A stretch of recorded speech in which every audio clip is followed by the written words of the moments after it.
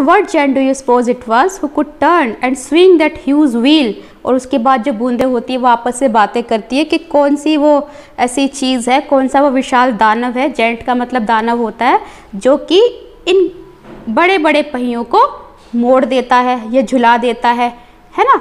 तो ये huge wheel किसको बोला है? जो चक्की के पहिए होते हैं ना, पत्थर के, उनको बोला है। Together with those have stones no giant at all no one but our tiny little water drops them तो यहाँ पर कहते हैं कि कोई दैत्य नहीं है, कोई दानव नहीं है, बल्कि ये हम बूंदे ही हैं। हम छोटी छोटी बूंदें, बहुत सारी जो होती है, वो मिल जाती हैं, मिलकर उछलती है सैकड़ों की तादाद में और इसको फिर ऐसे करके घुमा देती है। है ना? The steamer tied into a quiet pond where ducks and geese were swimming तो उसके बाद क्या होता है? जो बूंदे थी, वो भाप के रूप में थी ना? तो वो क्या होती हैं? वो एक पौंड के अंदर खाली हो जाती है। एम टाइड का मतलब होता है खाली होना, ठीक है? जहाँ पर की जो बत्तखें थी और जो गीज गीज मतलब हंस या कल हंस उनको कह सकते हैं, वो तैर रहे थे। Such a still beautiful place it was और वो जो बूंदे हैं, वो कहती है कि कितना सुंदर, कितना शांत स्थान है ये।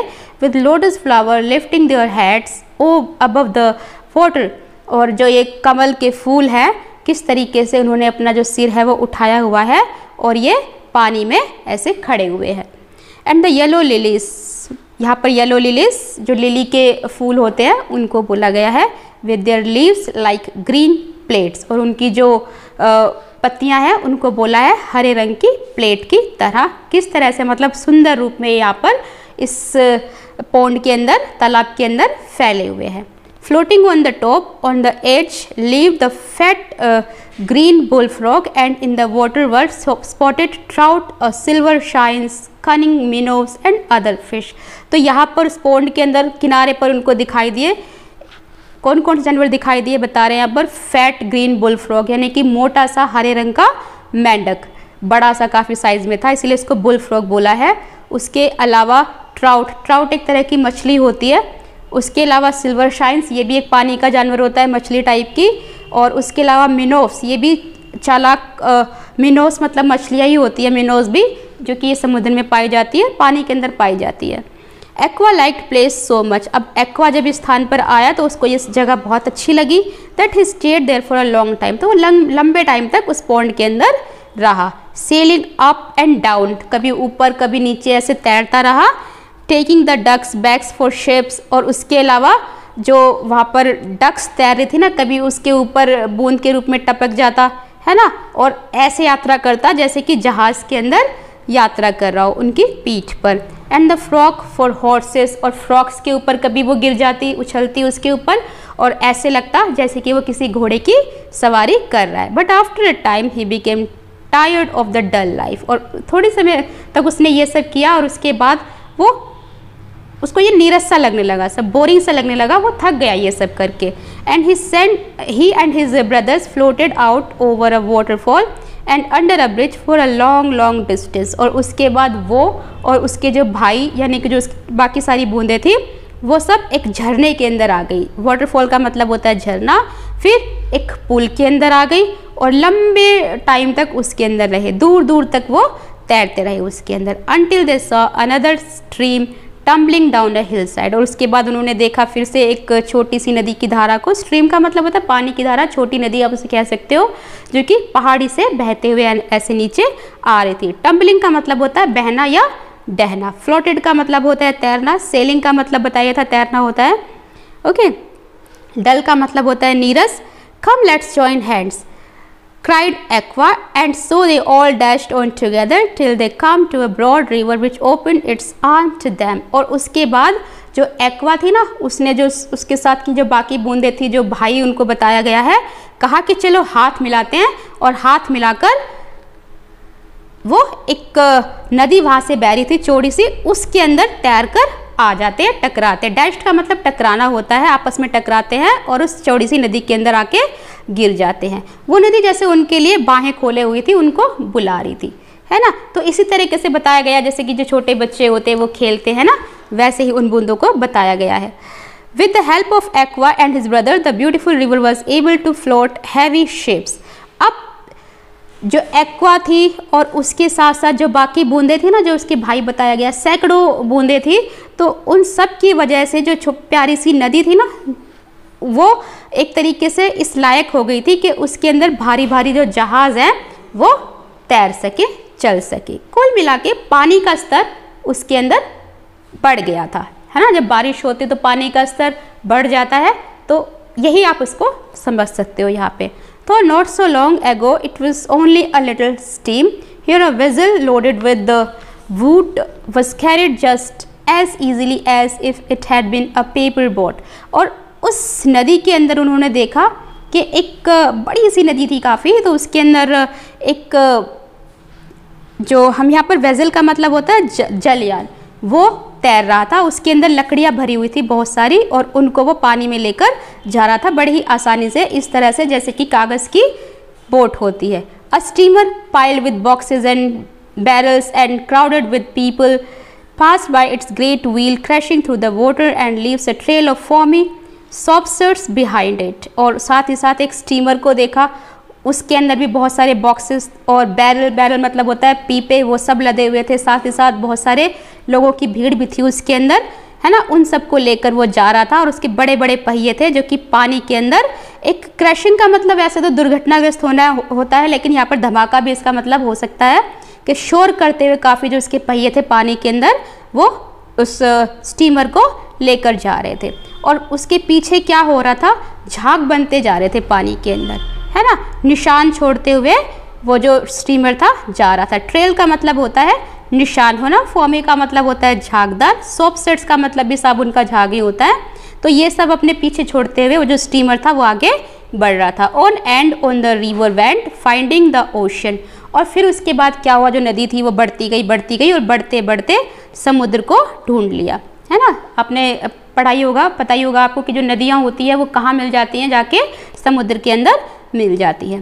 Whether it hurried round a corner or float smoothly on its way to the sea there was always something new and strange to be seen cities, quiet cities, uh, sorry, little towns, buzzing sawmills, stone bridges, and harbors full of all sorts of vessels, large and small, with flags of all colors floating from the mast and sailors of all countries working on the desks. तो यहाँ पर जो बूंदे थी ना उनको बड़ा ही नया एक्सपीरियंस होता है। बड़ी अजीब अजीब सी चीज़ें उनको देखने के लिए मिलती है जब उस नदी के अंदर वो होती है। है ना? नदी में मिल जाती है। तो देखते हैं बड़े बड़े शहरों को है ना? जो कि पूरे तरीके से व्यस्त थे शोरगुल से भरे हुए थे। उसके अलावा छोटे छोटे शहरों को भी देखे। और साथ ही साथ जो सौ मिल, यानी कि जो आरा होता है, मशीन होती है, उससे जो लकड़ियाँ वगैरह काटते हैं, वो सब करते हुए देखा, उनकी आवाज़, है ना, वो सब सुनी। साथ ही साथ स्टोन ब्रिजेस देखे, पत्थरों से बने हुए पुल देखे उन्होंने, बंदरगाह देखे। तो यहाँ पर जो बजिंग का मतलब होता है, वो गूंजना होता है। सौ मिल्स का मतलब आरा मशीन होता है स्टोन का मतलब पत्थर ब्रिजेस का मतलब पुल होता है हार्बर्स का मतलब बंदरगाह होता है।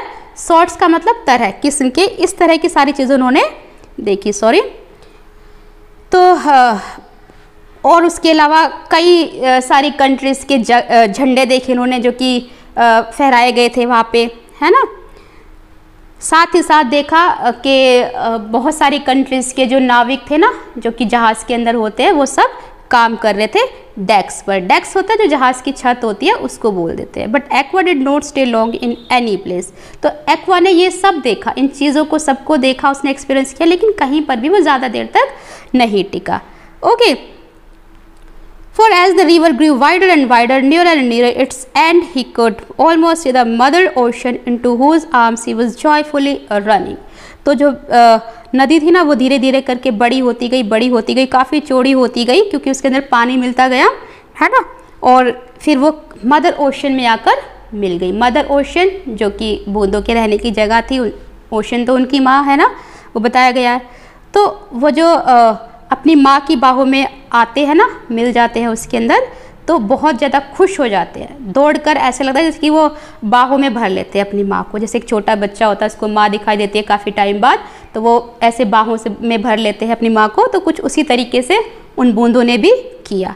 She reached out together all her children the water drops into her heart little Aqua jump into her arms and smiled और जो समुद्र माँ थी, वो भी ऐसा लग रहा था जैसे कि अपने सारे बच्चों को बच्चों तक पहुँच गई हो और उन सबको अपने दिल में उन्होंने बसा लिया हो, एक तरीके से इकट्ठा कर लिया हो। इसी तरीके से जैसे कि माँ होती है, अपने बच्चों को जब देखती है कहीं बाहर खेलते हुए, बाहर घूमते हुए और उनको इकट्ठा करके सबको ले आती हैं, वैसे ही कुछ यहाँ पर बताया गया है।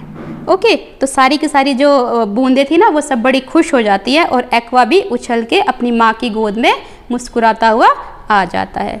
हिज ट्रेवल्स वर ओवर अब उसकी जो यात्राएँ थी ना, वो ख़त्म हो गई थी, जिसकी उसने ज़िद की थी his pleasure and dangers past और जो खुशी उसको मिली थी, जो खतरे उसने झेले थे, वो सब भी पीछे रह गए थे अब and he was enfolded again in his mother's arms और फिर से अब वो अपनी माँ की बाहों में एक तरीके से लिपट गया था। इनफोल्डेड का मतलब होता है लिपट जाना डेंजर्स का मतलब होता है खतरा प्लेजर का मतलब होता है खुशी. The safest sweetest place in the entire world और एक्वा ड्रॉप जो थी, उसको लगा कि मेरी माँ की जो बाहें हैं, यानी कि जो समुद्र है, वो मेरे लिए संसार का सबसे प्यारा और सबसे सेफ़ प्लेस है, सबसे सुरक्षित जगह है, जहाँ पर मुझे कोई खतरा नहीं है।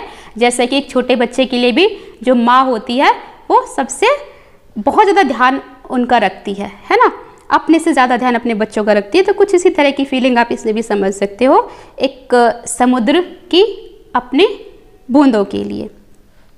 In warm, still uh, summer evenings, if you will take a walk on the sea beach, you will hear the gentle rippling of the waves and some very wise people think it must be the voices of Aqua and his brother Waterdrops telling each other about their wonderful journey around the world. तो कभी गर्मियों का जब मौसम होता है उस time पर शाम के टाइम पर जब आप समुद्र के किनारे पर बीच पर आप वॉक कर रहे होंगे सैर कर रहे होंगे तो आप लोग सुनेंगे उन लहरों की आवाज़ को, है ना? लहरें जो तरंगे उठती हैं, रिपलिंग का मतलब होता है तरंगे, जेंटल का मतलब कोमल है, वेव्स का मतलब भी लहरें होता है। तो वो जब उठती है और शोर उनसे होता है तो लोग समझ सकते हैं, सोच सकते हैं कि ये आवाज़ें हैं किन की? एक्वा की और उसके भाइयों की, जो बूंदे थी बाकी, उन सब की आवाज़ थी, जो कि बता रहे थे आपस में एक दूसरे को कि कितनी प्यारी, कितनी सुंदर यात्रा उन्होंने की थी इस पूरे संसार की। ठीक है?